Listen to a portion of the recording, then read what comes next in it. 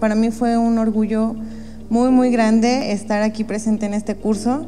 Realmente nos sensibilizó bastante como seres humanos. Me voy más sensible siendo trabajadora de, de gobiernos, más empática y también consciente de que ahorita son personas que a lo mejor no conocemos, pero pueden ser también nuestros hijos, nuestros padres y pues agradecer también al Congreso, a, a Beto, a Juan Pablo que nos comparte su, sus conocimientos, pero también su experiencia como persona y, este, y para mí es algo maravilloso. Para mí fue algo, una experiencia muy, muy maravillosa y pues agradecer esta oportunidad.